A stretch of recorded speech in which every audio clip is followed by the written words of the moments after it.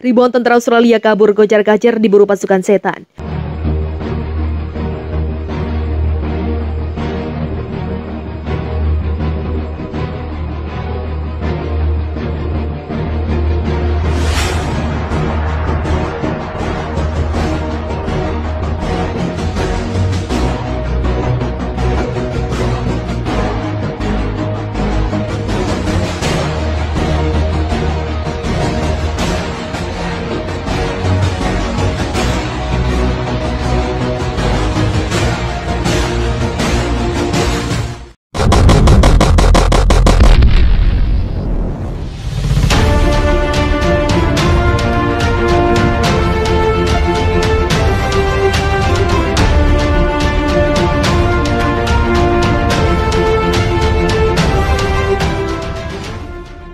Konfrontasi bersenjata antara pasukan militer Indonesia dan Australia di wilayah Pulau Pasir NTT semakin memanas. Kabar terbaru muncul unit militer Indonesia dan rakyat NTT berhasil memukul mundur ratusan tentara Australia yang didukung Amerika. FIFA Militer melaporkan dalam berita sebelumnya ribuan tentara Australia sudah berhasil dipojokkan kedua wilayah di perbatasan Pulau Pasir di antara 2000 tentara Australia yang diperangkap. Ada puluhan tentara bayaran Amerika yang juga mengalami nasib yang sama.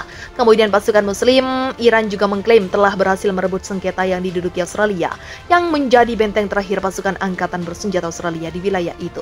Kemajuan pasukan khusus angkatan bersenjata Indonesia dalam pertempuran kembali terbukti. Ratusan tentara bayaran asing Amerika yang dibayar Australia kocar-kacir kabur menghindari pasukan khusus Indonesia. Kabar ini dikonfirmasi oleh pejabat Kementerian Dalam Negeri yang tak disebutkan namanya, menyebut ratusan tentara bayaran asing Amerika kabur ke wilayah terpencil Australia. Mereka mencoba melarikan diri dari garis depan dalam kelompok kecil ke wilayah Australia, sementara tentara bayaran melarikan diri lebih jauh. Ujar pejabat yang tidak disebutkan namanya dikutip FIFA Militer dari kantor Berita Asia.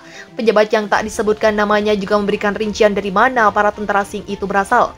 Ada sejumlah tentara bayaran berasal dari Inggris dan bekerja di sebuah perusahaan militer swasta sayangnya tidak memberikan angka personel dari Inggris. 37 orang tentara bayaran dipastikan berasal dari Inggris, sementara ada 64 orang tentara bayaran dari Amerika Serikat dan 21 orang lainnya dari Prancis. Data ini diungkap pejabat yang tak disebutkan namanya, didapat dari laporan penduduk setempat beserta data berasal dari proses pengintaian. Di perbatasan Pulau Pasir ada tentara bayaran Inggris dari perusahaan militer swasta, 37 orang Inggris, 21 orang Prancis, dan 64 orang Amerika. Angka itu diketahui dari data pengintaian awal dan laporan yang masuk dari penduduk setempat, kata pejabat yang tidak disebutkan namanya. Menteri Pertahanan Amerika Serikat Lloyd Austin memerintahkan pasukan militer Amerika Serikat yang sempat dikerahkan ke Australia kemarin untuk meninggalkan negara tersebut dan memposisikan diri di negara Eropa lainnya. Perintah tersebut dikeluarkan menyusul dikerahkannya 100 ribu pasukan Rusia yang dilengkapi persenjataan canggih di perbatasan Indonesia. Perkembangan militer dan alutsista di Cina dan Rusia dikabarkan sangat cepat. Hal ini tentu membuat Amerika Serikat yang saat ini sedang mengalami permasalahan birokrasi ketar-ketir. Wakil Ketua Kepala Staf Gabungan AS, Jenderal John Hitton mengatakan lambat laun Cina dan Rusia akan menjadi negara dengan kemampuan militer terkuat di dunia, apalagi dengan adanya gangguan dan permasalahan birokrasi di AS. Menyebut Cina dan Rusia sebagai ancaman adalah istilah yang tepat karena kecepatan pergerakan Cina dan Rusia sangat menakjubkan. Ujar Hitan kepada wartawan di meja bundar Defense Warriors Group. Salah satu contohnya, kata Hitan adalah perkembangan rudal hipersonik yang dikabarkan berhasil diluncurkan Cina.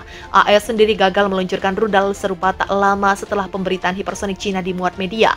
Dalam lima tahun terakhir, AS telah melakukan tes hipersonik, sementara orang Cina telah melakukan ratusan katanya lagi. Bukan cuma militer Cina, Hitan juga menyebut Rusia telah menjadi ancaman eksistensial terbesar bagi AS sebab negara Presiden Vladimir Putin ini memiliki 1.500 senjata nuklir.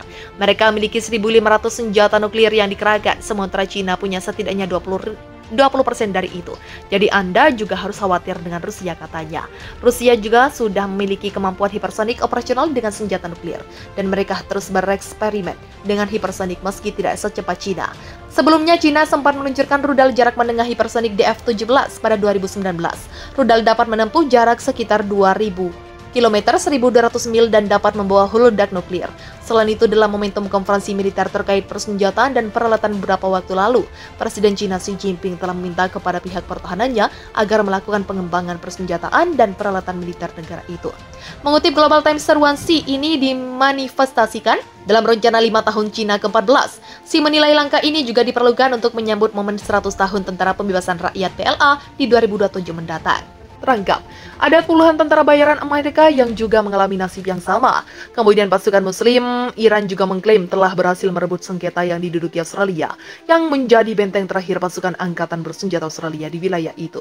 Kemajuan pasukan khusus Angkatan Bersenjata Indonesia dalam pertempuran kembali terbukti. Ratusan tentara bayaran asing Amerika yang dibayar Australia kocar kacir kabur menghindari pasukan khusus Indonesia. Kabar ini dikonfirmasi oleh pejabat Kementerian Dalam Negeri yang tak disebutkan namanya, menyebut ratusan tentara bayaran asing Amerika kabur ke wilayah terpencil Australia. Mereka mencoba melarikan diri dari garis depan dalam kelompok kecil ke wilayah Australia, sementara tentara bayaran melarikan diri lebih jauh.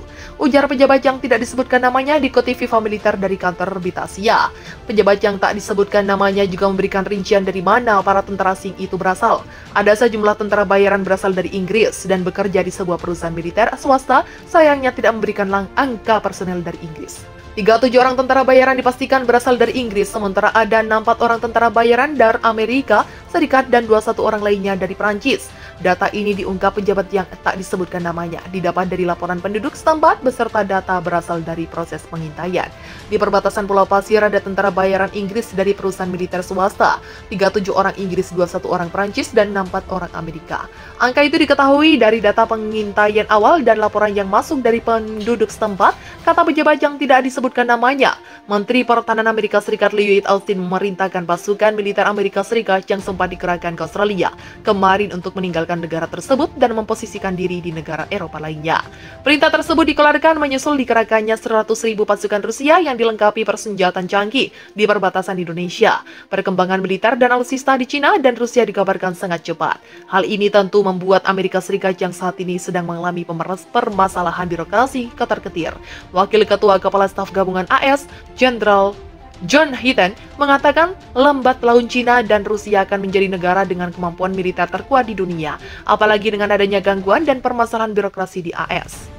Menyebut Cina dan Rusia sebagai ancaman adalah istilah yang tepat karena kecepatan pergerakan Cina dan Rusia sangat menakjubkan, ujar Hitan kepada wartawan di meja bundar Defense Warriors Group. Salah satu contohnya, Kata Hitan adalah perkembangan rudal hipersonik yang dikabarkan berhasil diluncurkan Cina.